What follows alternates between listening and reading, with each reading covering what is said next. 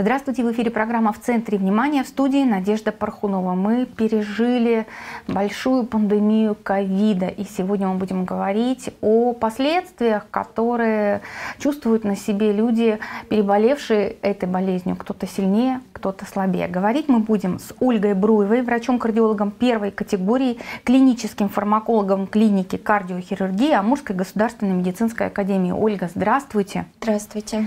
Скажите, пожалуйста, постковид, что это такое? Часто ли с симптомами обращаются к вам а, с непонятными, и вы говорите о том, что это постковидный синдром?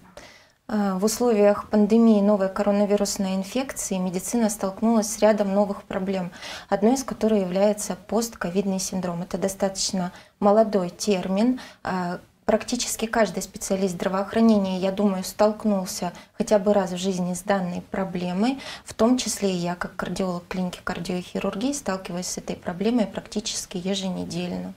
Что это такое? Что такое постковидный синдром? Какие э, у него симптомы? И вообще это теперь уже официальная ну как терминология, может быть даже болезнь, э, ставят ли это как в диагноз?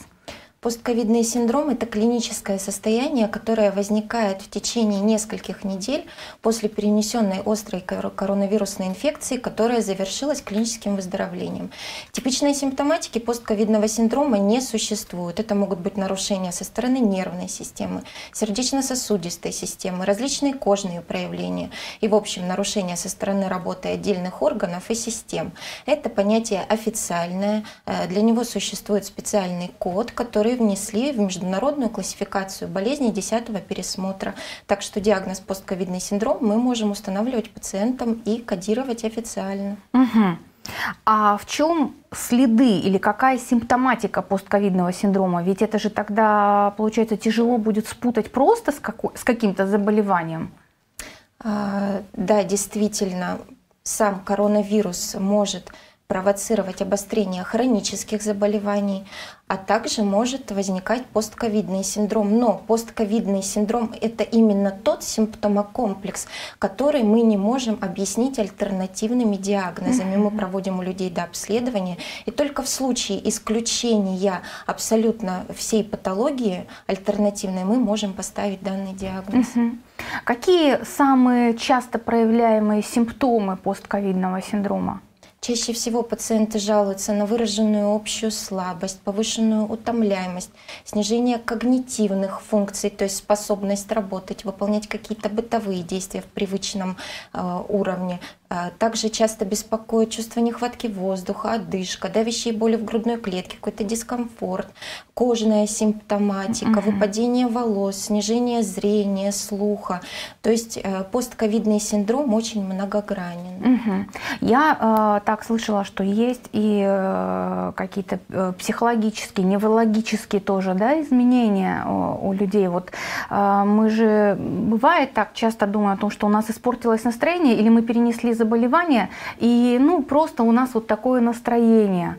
А когда нужно обратить внимание на то, что уже не просто настроение, не просто где-то болит и не просто не выспался. Если после перенесенной коронавирусной инфекции вас начинает беспокоить выраженная слабость, непривычная для вас, нарушение сна, какая-то утомляемость, в общем, появились вновь какие-то симптомы, которые вам не присущи, угу. тогда обязательно надо обратиться в поликлинику по месту жительства, к врачу-терапевту, либо к врачу общей практики, который проведет до обследования и ответит на ваши вопросы.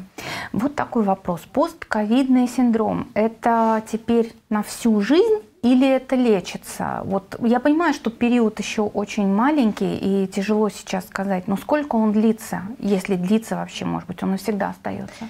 Постковидный синдром может возникать в течение 3-6 э, месяцев после перенесенной коронавирусной инфекции. У некоторых пациентов даже в течение года могут возникать отдаленные последствия. А, какие среднесрочные и долгосрочные в последующем угу. результаты, никто сейчас на этот вопрос не ответит. Перетекает ли в хронические заболевания сам постковидный синдром, тоже пока никто ответить не сможет. Но в любом случае необходимо своевременно обращаться к доктору. Угу. Давайте сейчас э, поговорим еще, в принципе, вот о, ковидной инфекции. Вот человек э, жил, у него были какие-то, может быть, хронические заболевания, в том числе и сердечно-сосудистые. Переболел ковидом, может быть, даже несложно. Ведь очень часто же э, наши телезрители, да, может быть, сейчас люди, переболевшие легко, думают о том, что я переболела легко, и у меня ничего не будет.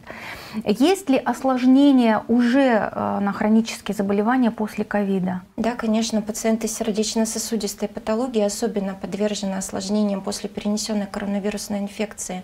А, часто обращаются в клинику кардиохирургии люди с жалобами на боли в грудной клетке, одышку, какие-то нарушения ритма. Это могут быть как и пациенты, у которых уже имелись сердечно-сосудистые заболевания, так и пациенты здоровые, без имеющейся патологии сердечно-сосудистой системы. Часто встречается усугубление э, тяжести действительно имеющихся патологий. Например, может э, увеличиваться функциональный класс, утяжеляться функциональный класс стенокардии, может суп и декомпенсироваться сердечная недостаточность, может накладываться на имеющиеся заболевания нарушение ритма, проводимости, то есть, да, действительно, такое встречается достаточно часто в практике. Угу. Как лечится постковидный синдром? Лечится ли он вообще э, симптоматично или все-таки есть какие-то уже исследования, когда мы можем говорить о том, что убирать, в принципе, все вот эти вот симптомы? Универсальных подходов к лечению постковидного синдрома не существует. Каждому подход индивидуальный, персонализированный. Мы назначаем таким пациентам фармакотерапию, которая включает, конечно же, купирование симптомов, например, нарушение сна, а, нарушение каких-то когнитивных функций, э, тахикардия, учащенное сердцебиение часто встречается. Фармакотерапия часто включает в себя минералы, э, витамины. Также пациентам рекомендуем заниматься физическими нагрузками. После перенесенной инфекции mm расширять физические нагрузки необходимо постепенно. Значит, заниматься необходимо дозированной лечебной физкультурой. Это может быть плавание, это может быть ходьба. Мы пациентам рекомендуем физиолечение, оздоровительные массажи, рефлексотерапия. Также мы рекомендуем психотерапию. Вот вы сейчас сделали на вот, психотерапии так, такой акцент. Э, это действительно так, что очень многие пациенты, я понимаю, что вы врач другой практики, но все-таки очень многие пациенты испытывают э, и проблемы, ну, мы скажем так, не с психикой, да, а вот с таким с, менталь, с ментальным своим состоянием. Да, действительно, часто в постковиде нарушается именно когнитивная функция. У пациентов могут возникать так называемые вегетативные кризы или панические атаки, мы их называем. В таком случае мы отправляем людей на консультацию к врачу-неврологу, психотерапевту при необходимости. Бояться этого не нужно? Нет, это абсолютно возможные ну, осложнения. Ну, нормальное явление постковида, Нормальное явление. Правильно? Не стесняться, не бояться, такого не надо. Скажите, пожалуйста, э, массово ли это сейчас происходит? Или э, вот сейчас все-таки уже ковид не так бушует, ну, есть заболевания все равно. Э, люди обращаются в большом количестве или как-то все-таки сокращается поток? Или только сейчас начинает доходить, что что-то не в порядке и приходят пациенты? Э, с вновь возникшими жалобами со стороны сердечно-сосудистой системы после перенесенной коронавирусной инфекции люди обращаются особенно на амбулаторный прием практически ежедневно. А, мы их да, обследуем и уже устанавливаем, это постковид или это какое-то именно первичное заболевание сердечно-сосудистой системы. Угу. А переходят ли вот эти недомогания в хронические?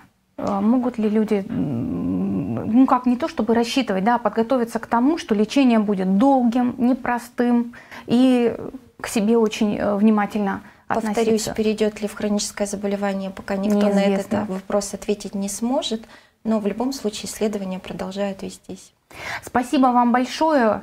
Ольга, за вот такой рассказ. Э, сегодня мы, наверное, только поставили такой небольшой акцент и рассказали о том, что если вдруг после перенесенного ковида, даже если он у вас был в не тяжелой форме, вы чувствуете непривычные для себя симптомы, которых не было до этой болезни, лучше всего обратиться к специалисту. Говорили мы сегодня об этом с Ольгой Бруевой, врачом-кардиологом, клиническим фармакологом клиники кардиохирургии. Я с вами прощаюсь, смотрите нас еще в эфире. До всего, всего хорошего, до новых встреч.